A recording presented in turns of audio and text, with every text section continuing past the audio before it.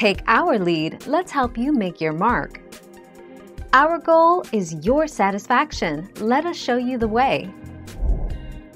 Medicare premiums for Part B and Part D are indeed tax-deductible, as are supplement premiums for added insurance.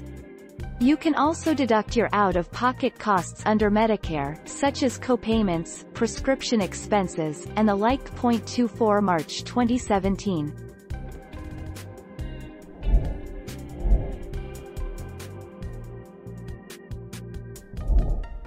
Take our lead. You can deduct your health insurance premiums, and other healthcare costs, if your expenses exceed 7.5% of your adjusted gross income AGI.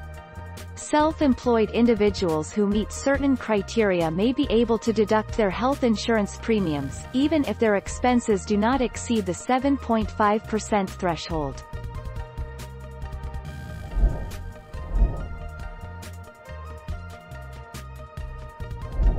Make your mark, take our lead.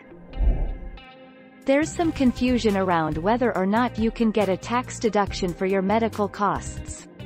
To end this confusion, the answer is no, you can't get a tax deduction for your medical costs because they, much like your health insurance, are considered private in nature. 20 July 2017